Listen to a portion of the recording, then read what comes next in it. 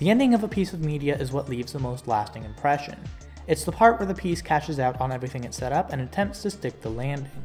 For the purposes of a video game, the ending is the time for the game to culminate into a singular final sequence where the piece demonstrates what its message is and why the audience has stuck around to hear it.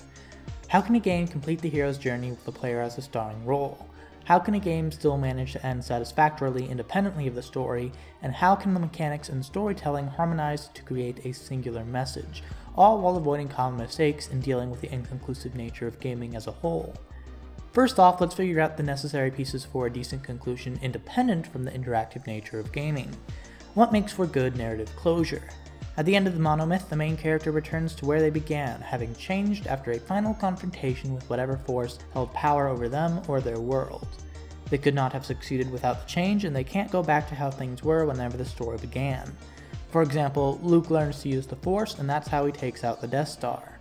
Spoilers, by the way for that and for all of these. With that cleared up, what does the introduction of interactivity do to this formula?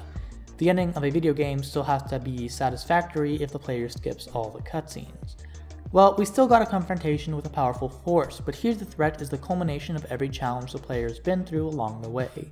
It's sort of like a cumulative final exam. It checks to see if the player has actually learned all the game's mechanics along the way. This is your boss gauntlet, your remixes, or ideally some new sequence that uses old challenges in new ways to show how far the player has come.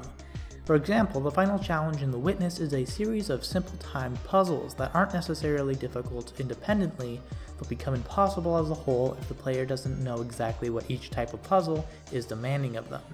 Not only does it require comprehensive understanding of all the game's mechanics, but outside of the box thinking, which the game is known for, when the solutions to some of the early puzzles in the sequence subtly offer critically important tips for puzzles towards the end.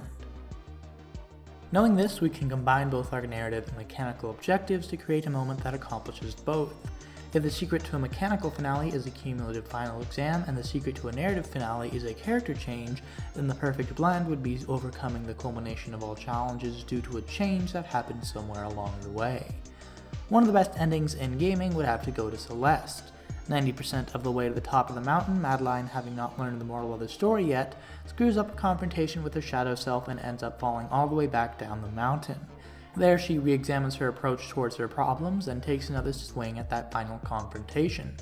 As a result, she establishes an inner peace and becomes more powerful than ever before.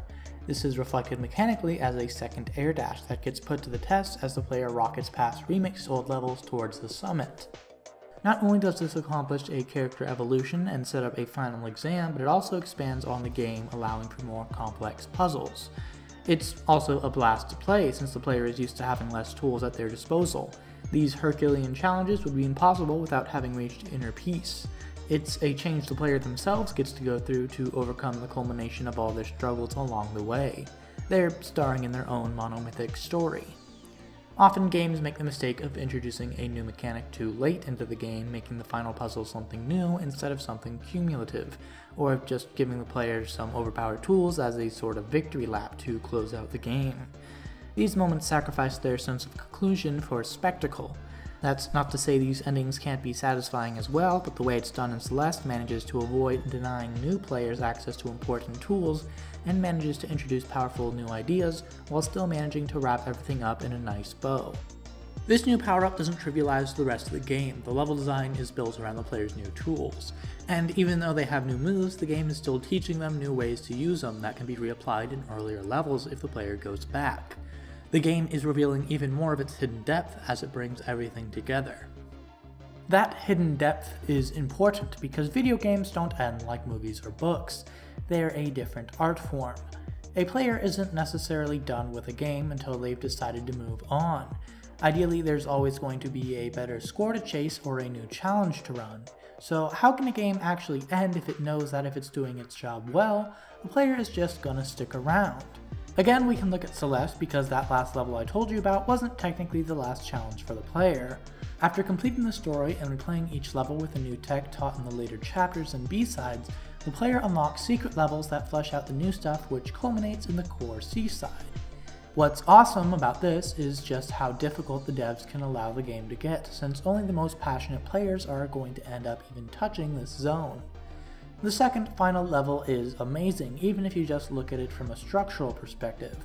Players who would have gotten burned out by the secret levels will probably just leave the game satisfied at the first ending.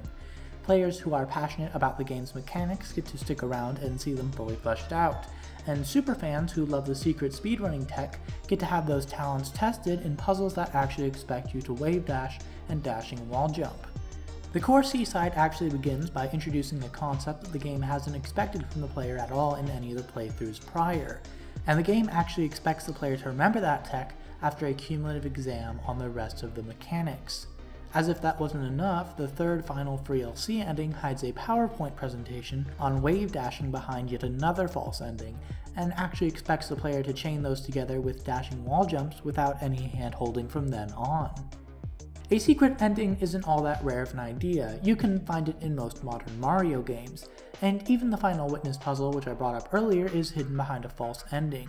But since they're so effective at leaving both hardcore and casual players satisfied, they're a key piece to any quote-unquote final level. All in all, endings are all about escalation. A story should escalate to a final confrontation solved with a lesson learned over the course of the journey.